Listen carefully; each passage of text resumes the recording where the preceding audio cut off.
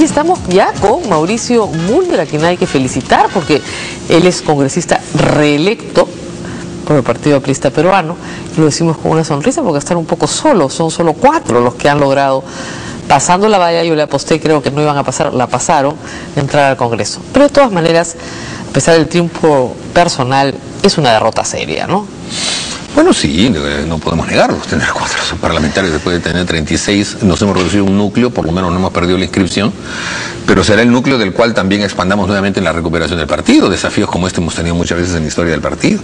El partido seguirá ahí, iremos a una reingeniería, tendremos un congreso después que acabe el gobierno y retomaremos el camino que debemos retomar siempre, ¿no? El de liderazgo social. ¿Por qué le han dicho, por qué ha dicho usted... Eh ¿Cómo es lo que ha dicho Alan García? Que usted ha hecho alarde de dignidad política al renunciar a la comisión política.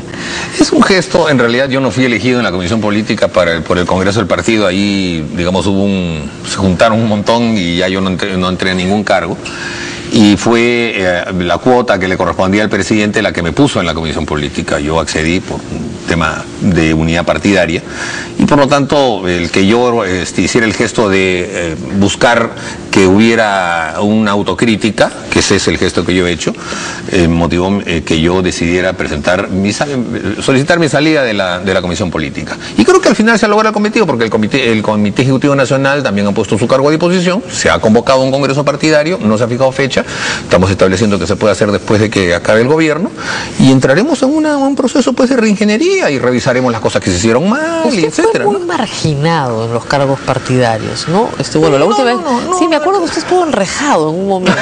no, no, bueno, son las contingencias este, propias de nuestra idiosincrasia. Espero que justamente sean parte de la crítica para evitar que en lo sucesivo tengamos congresos donde haya ese tipo de cosas. Claro, pero y que, sean las discusiones las que diriman pues mayorías y minorías. Claro, pero los que lo enrejaron no ganaron las elecciones. ¿Hay una secreta satisfacción de su parte? no, no, la verdad es que... O sea, ¿cómo explica usted haber ganado? Bueno, Luciana León es la que salió primero, ¿no? En fin, eso también habría que hacer un estudio. Es un fenómeno interesantísimo el de Luciana. No, bueno, yo explico lo mío en el sentido de que yo he buscado el voto aprista, el voto sincero, el voto militante. Yo he buscado eh, mm, llegar a la base del partido diciéndole, bueno, mantengamos una cohesión, mantengamos una firmeza, mantengamos nuestro punto de vista. Eh, la gente que ha votado por mí sabe que yo no he tenido una participación en, la caída, digamos, de Mercedes Arauz, al contrario, la respaldé y que fue el el, elemento que eclosionó, digamos, y nos puso en una situación difícil, porque de hecho hubieron muchos problemas antes, temas de corrupción y temas de falta de, unidad en el partido, sobre todo en provincias.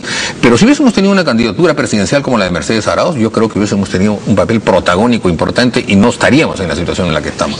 Entonces, esa crisis fue la que... Eh, confrontó un poco posiciones en las que yo estaba a favor de que mantuviéramos a, Mercedes Arauz y a lo mejor pues eso es lo que se ha tomado como valor, como referencia para poder votar por mí.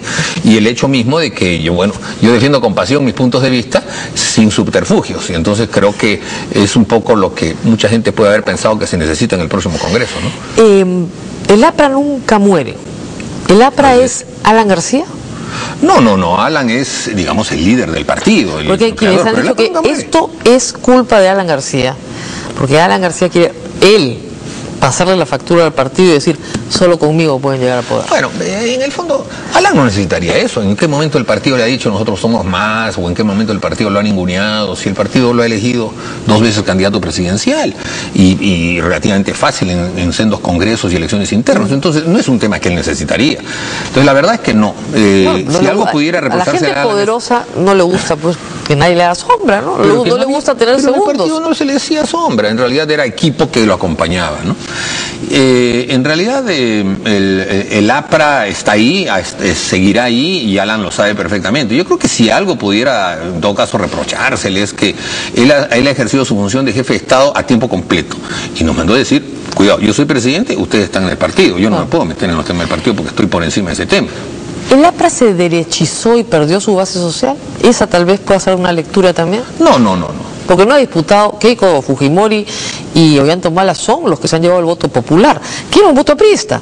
Keiko Fujimori está fuertísimo en el norte del país. Bueno, pero es que una vez más, pues el hecho de no tener una candidatura presidencial puede haber sido eh, gran parte detonante de ese tema. Mm. Ahora, eh, el APRA no se derechizó, el APRA al contrario ha sido leal a sus principios. Somos eh, el único partido que fue acusado justamente de derechista por los comunistas porque dijimos que por democracia sí se podía hacer justicia social y lo hemos demostrado porque es el gobierno que más ha reducido pobreza, que más ha descentralizado y que más ha acercado al pobre al que no lo es. Y, eso se ha hecho en democracia. Entonces, claro, se ha derechizado, se abandonó. ¿Quiénes dicen eso? Los que toda la vida nos habían dicho que nos habíamos derechizado. Cuando ella la torre en el año 45 dice no queremos quitar la riqueza al que la tiene, sino crearla para que no la tiene, los mismos que hoy nos dicen derechistas ya le decían a ella la torre claudicante, vendido por imperialista. Nunca, nunca le reconocieron a ella la torre ser un revolucionario, un hombre de izquierda.